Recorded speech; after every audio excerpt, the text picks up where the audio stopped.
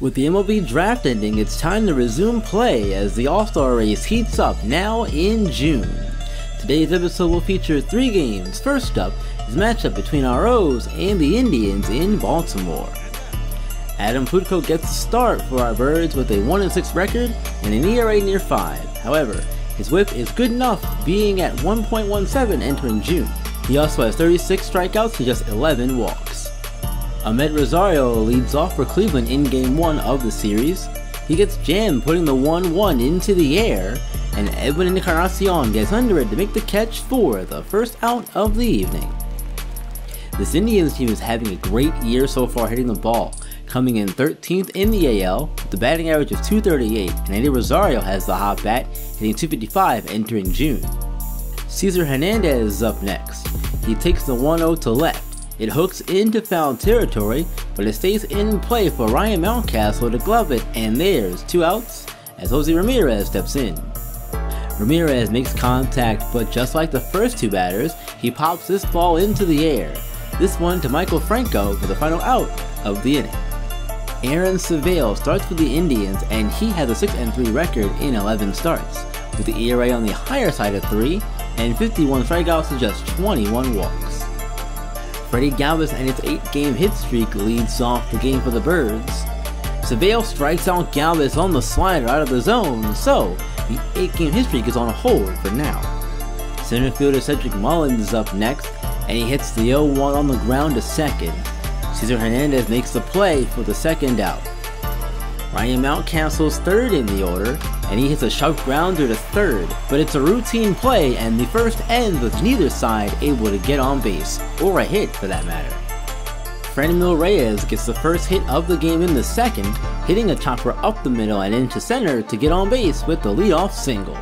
Eddie Rosario wastes no time in his first at bat, jumping on the first pitch from Plutko. Santander runs back to the wall, but all he can do is look at it land in the seats for a two-run homer. It's Rosario's seventh on the year and the Indians get on the board first. Later in the inning with one out, Ryan McMahon matches a 1-2 out to right field. It stays in the park, bouncing off the scoreboard. McMahon's trying for two, but the relay combo of Santander and Valaika gun him down as Galvis puts the tag on for the second out. Plutko ends the inning notching his first strikeout as Andres Gimenez looks at the inside changeup. Plutko only gives up the two on the home run to Eddie Rosario, and the Indians lead by two. Heading top three, and Roberto Perez leads off with the Indians hitting a hard ball to first. Encarnacion can't field it cleanly, though the first is not in time, it's ruled a base hit, as the top of the order is back up in Amed Rosario. He only sees one pitch here as he hits a laser into the right center gap. It gets all the way to the track as the runner scores all the way from first and Rosario has himself a RBI triple, his second on the season. Jose Ramirez takes the 0-2 curveball from Plutko out into left. Mountcastle gets on his horse and is able to make the catch. But if you how many outs there are, which allows the runner from third to score on the sac fly, it was hit deep enough, you're probably going to score anyway, but a mental error all the same. It's 4-0. The inning continues as Franmil Reyes ropes this ball out into right. Once again hits off the scoreboard, but this time, unlike McMahon, he's able to beat the throw to second for his 8th double on the season. Eddie Rosario comes up after the double and hits the 1-1 into foul territory, and we gotta show some love to the ball boy here on this snag. Get him some shine. Rosario does put the ball into play as he hits a ground ball into left. Mountcastle charges and comes up firing, but the throw is offline, giving Rosario his third RBI on the game as the run scores Rosario is thrown out, trying to get to second. That ends the inning, but it's all Indian so far, 5 to 0. Bottom 3 for the O's, and Chance Sisco is the first base runner as he leads off with a walk. After a Chris Davis strikeout, Pat Valaika absolutely smokes this ball past third and into left and all the way to the wall. Sisco doesn't have the best wheels, but he's able to slide into third ahead of the throw safely. The single from Valaika puts runners on the corners for Freddy Galvis as lineup rolls over. Galvis hits the 2-2 into the air to right. It's definitely deep enough to score Sisco from third, but no movement over there, and to make it worse, the throw home is up the line to first. So a base running mistake costs the run, and now it's up to Cedric Mullins to try and score Sisco from third. Mullins isn't able to get Sisco home as he hits a chopper right back to the mound. O's leave two on as they're still scoreless heading to the fourth. The Indians are threatening to score again in the fourth with runners on the corners and no outs for Andres Gimenez. Gimenez sends his 2-0 pitch into shallow center. Mullins runs under it and makes the catch. The throw home is perfect as Sisco puts the tag on for a double play. As a former outfielder myself, there is no better feeling than throwing out a runner trying to score. That keeps the lead at 5 and the O's need to figure out a way to get on the board. Ryan Mountcastle leads off the Oriole fourth and says, I'll break the tie myself. He hits a screamer into left. Eddie Rosario gives chase, but he's not fast enough to attempt to bring it back. It's gone! Mountcastle's third homer of the year makes it 5-1 as they begin to attempt to chip away at the lead. Tom Eshelman takes over on the mound with one out in the fifth for the O's and he's greeted by Cesar Hernandez lining this ball down the left field line. It just stays fair with a great tightrope act. Gets into the corner and it's a double for Hernandez, his sixth on the year. Franmil Reyes with two outs later in the inning has a chance to bring him home, and he sends the 1-0 out into right. The scoreboard has taken a beating today as the ball bounces off easily allowing Hernandez to score from second and Reyes replaces it now with two RBI doubles in the game. It's a 6-1 Indians lead as they get the run back from the O's Mountcastle home run. Freddy Galvis in the bottom of the sixth extends his streak to 9 games with this line drive single into right. And now he's hoping this will stir the other bats alive in the inning. Galvis then advances on a wild pitch to Mullins, who then moves him to third on a ground out to first. Which brings up Ryan Mountcastle already with a home run in the contest. Mountcastle gets a 2-1 changeup up in the zone, and he does not miss it. This one gets into the left field seats and it's his second home run of the day. The two-run blast makes four on the year for Mountcastle and cuts the lead to six to three. as the Birds won't go away just yet. Bottom 8 and Cedric Mullins hoping to keep the inning alive with two outs. He does more than keep the inning alive, he keeps the hopes of the fans alive as the right field scoreboard breathes a sigh of relief because this ball goes over it and onto the concourse, no doubt about it. Mullins now has 6 home runs on the year, and the lead is just 2 for Cleveland, 6 to 4. Dylan Tate comes on in the top of the ninth to try and keep the Indians lead at 2. With one out, Ryan McMahon smashes the 0-2 from Tate to right. Ball gets off the wall, and McMahon has his seventh double on the campaign as he beats the throw.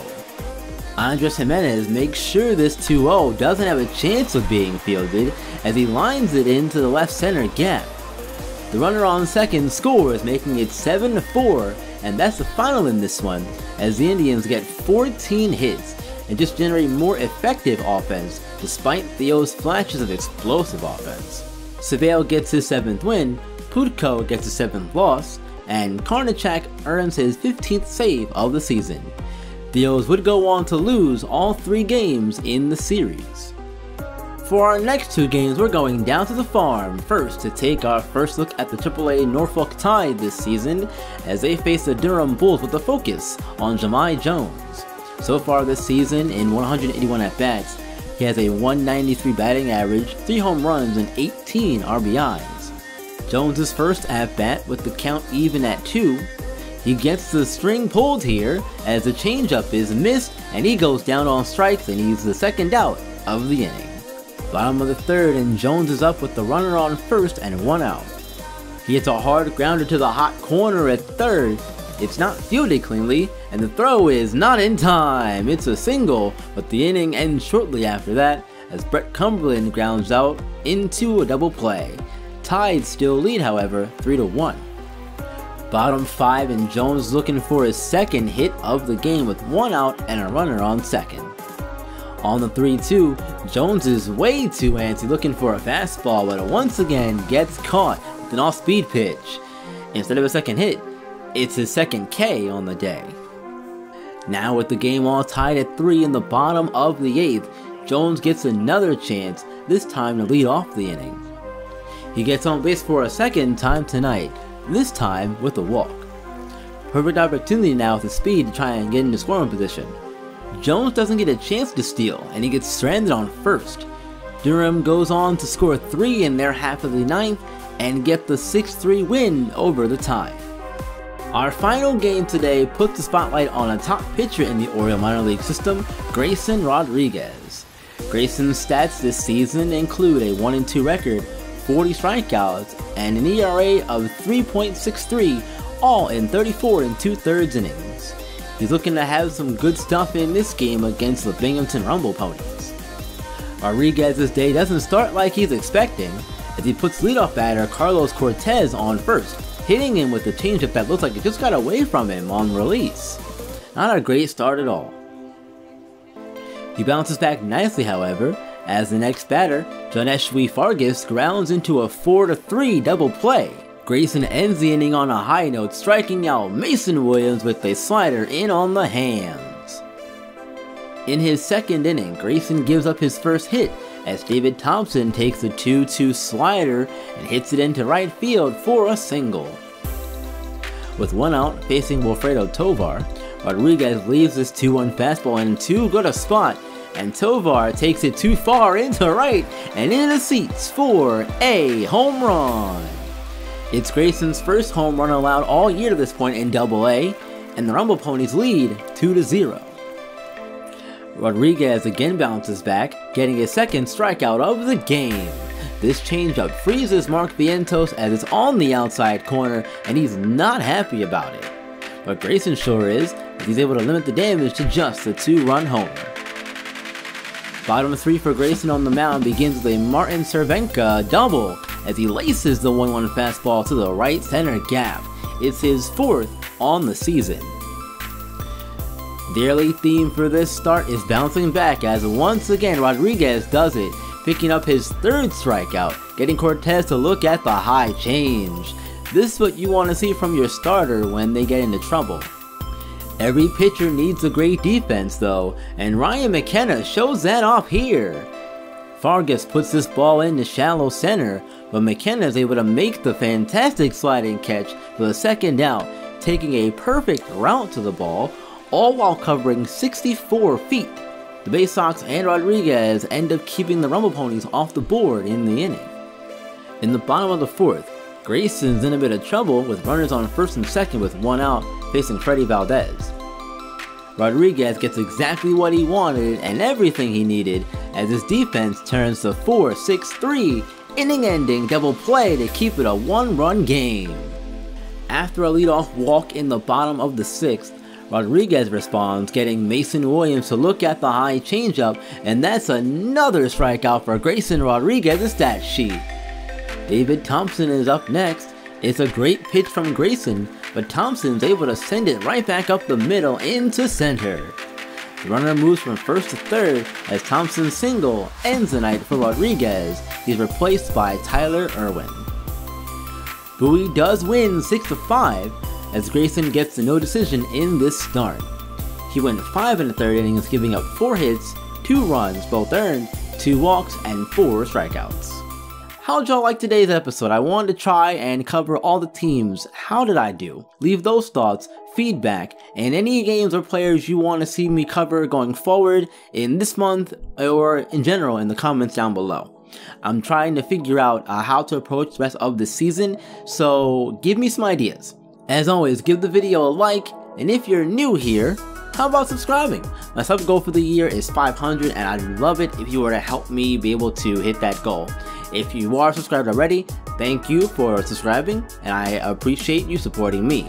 As always you guys, you know what to do. Stay on the channel, watch some more videos, and as always, keep on shining and keep on grinding. I will see you all with the Widows franchise video next week.